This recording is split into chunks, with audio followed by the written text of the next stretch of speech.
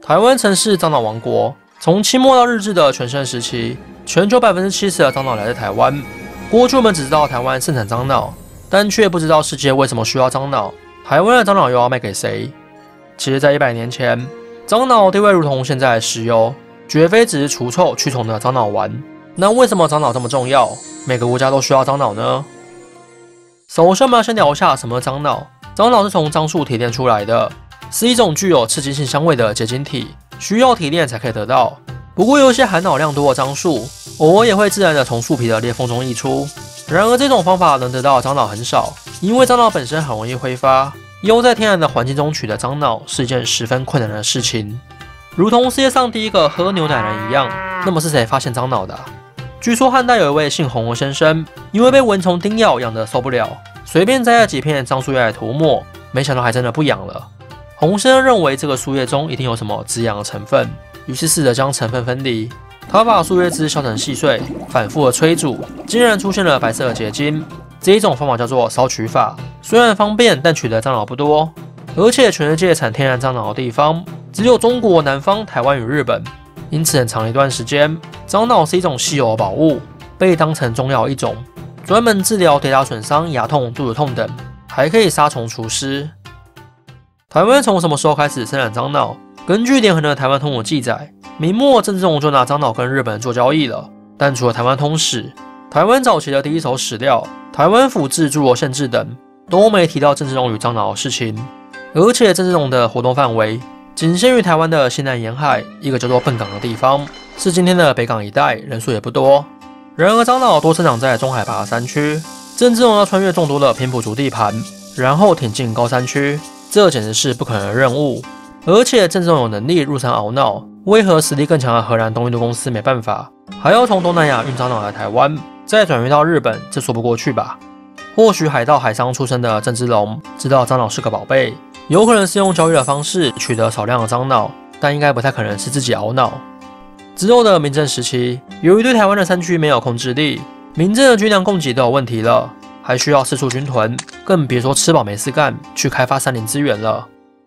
因此，台湾樟脑开发得等到清领时代。那个时候的大陆移民都来自盛产樟脑的漳泉地区，自然知道樟脑这种好货。虽然清朝政府严禁汉人入山，但那个时候有渡海禁令，会来台湾的都是在原乡活不下去的人。因此，我们的祖先。都是具有冒险精神的主力之徒，所以这时候就有不少汉人入山熬闹。当然，这个是违法的，而且非常的危险。入山的汉人经常与原住民发生冲突，造成严重的死伤。虽然清政府一再禁止，不过由于利益所趋，汉人依然前仆后继的入山，甚至还有私脑业者赞助了朱玉贵的反清，让清政府非常的头痛。朱玉贵之乱平定后，为了防止台湾人屡犯禁令、入山谋生的情况。便在1715年，每隔数十公里就立石为界，禁止汉人进入藩界。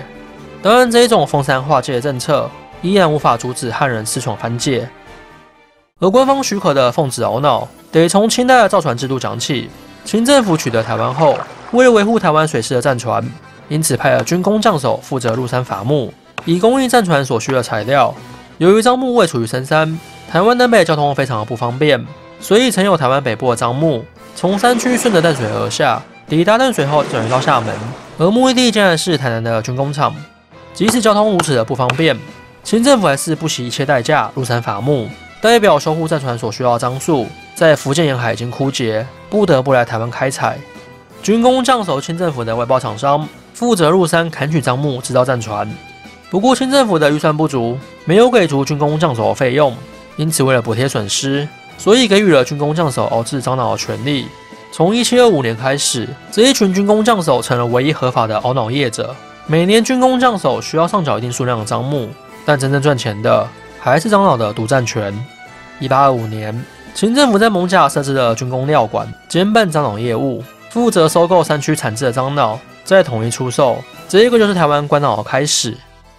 一八四零年，清政府因为贸易的问题，与英国爆发了鸦片战争。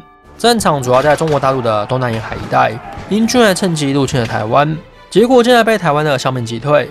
不过依然无法扭转清朝在鸦片战争中惨败的结果。在鸦片战争期间，英国船只在基隆外海鬼鬼祟祟，希望用鸦片交换台湾的樟脑。由此可以知道，老外早就看上了台湾盛产的樟脑。对西方人来说，樟脑可以用来做内科用的强心剂，以及治疗皮肤病、神经衰弱等，也可以制作烟火、香水、油漆稳定剂，是一种非常好用的原料。因此，外国商船经常私运鸦片来台湾交换樟脑。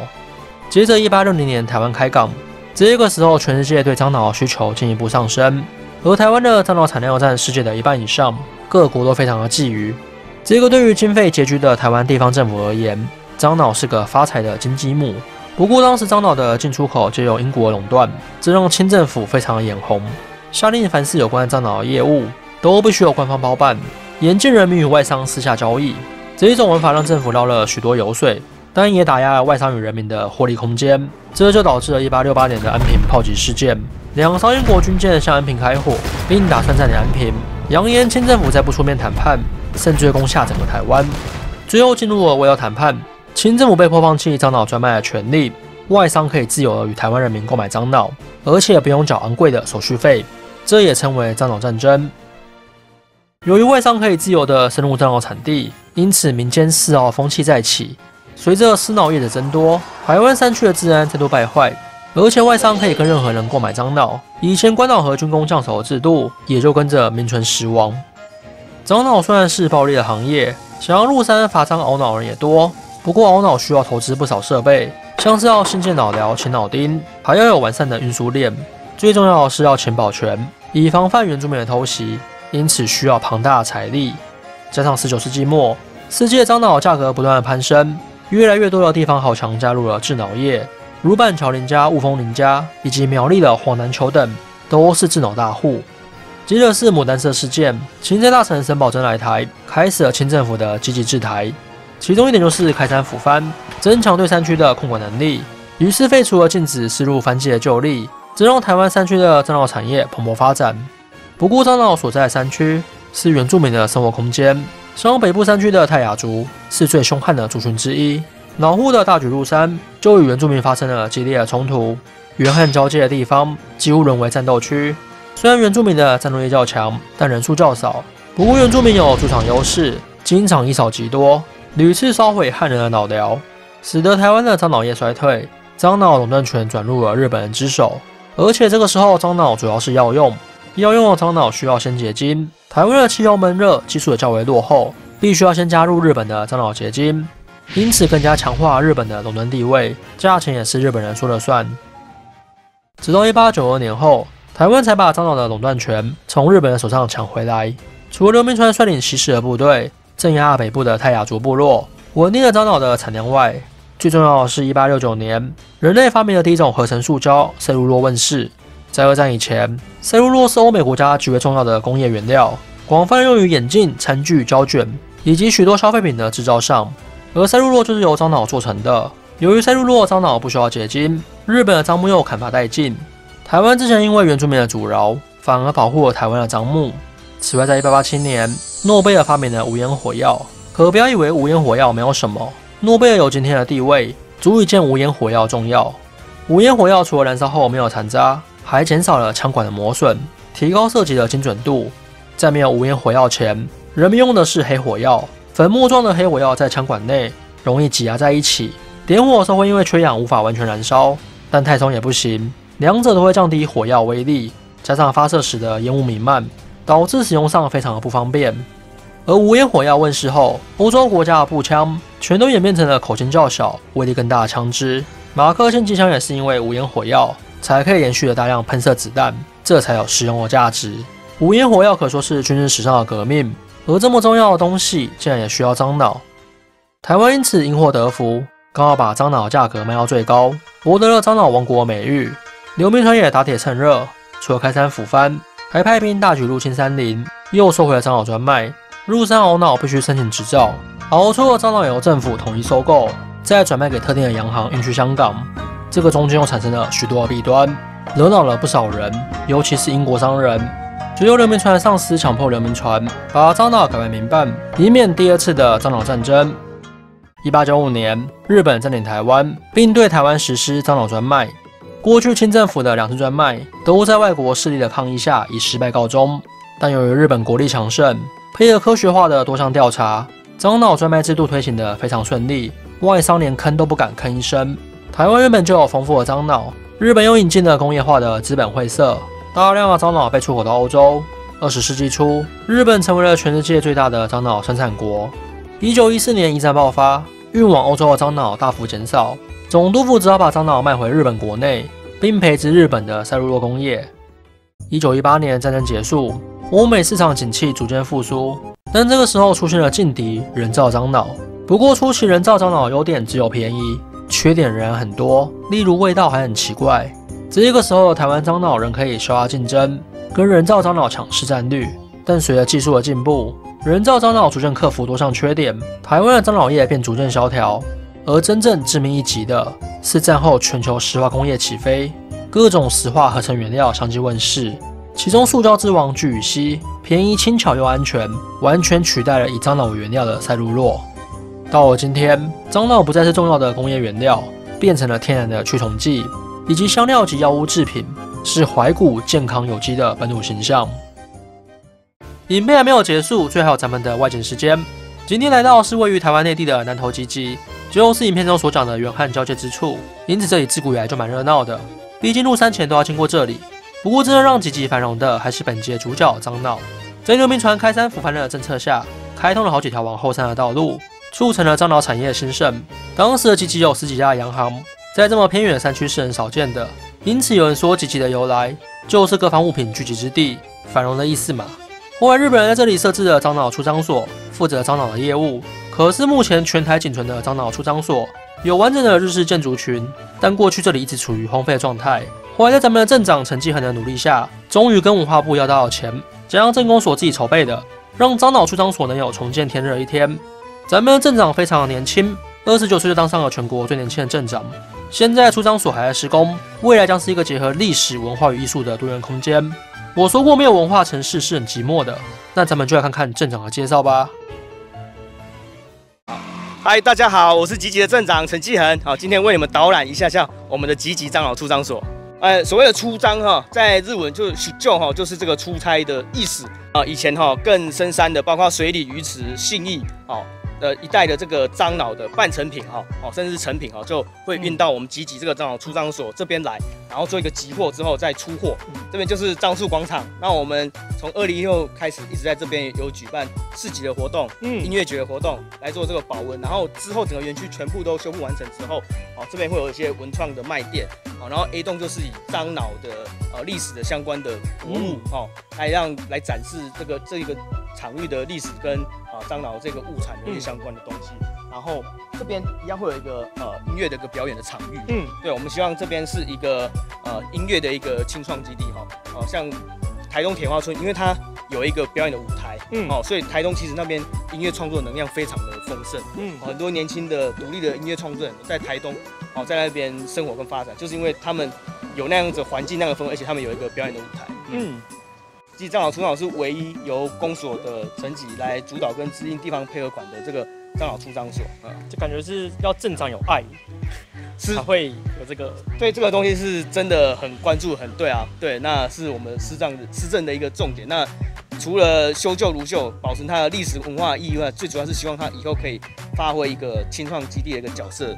镇长蛮有文化，没有 还可以，台湾有文化，因为我都看 Cheap 的频道。好。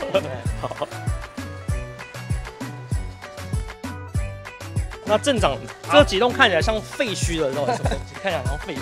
木造的日式宿舍，那因为把它拆开嘛，那它又是木造的，所以为了让施工不会因为天气中断以及施工期间的这个呃下雨天哈，不会加速它的一个腐化跟腐化跟变质，所以我们先搭了临时性的钢棚架，嗯，哎，对，来做一些保护。对，好，那我们继续里面看。日式建筑的构造哈，它就是会有一个架空，嗯，哦。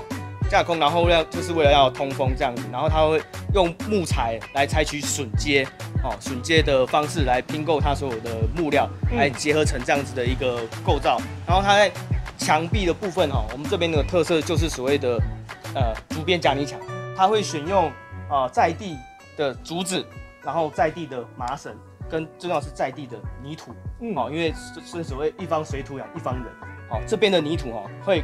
最适应这边的整个一个风土跟气候。嗯但是因为我们可以看到有一些缺少，所以它泥土量会不够。那我们也会采采集在地的泥土来加进去，然后重新把它糊好，好成为一个新的这个编组假泥墙。感觉要花很多钱。对，对对，我们整个园区哈，总共要预花算很吃紧。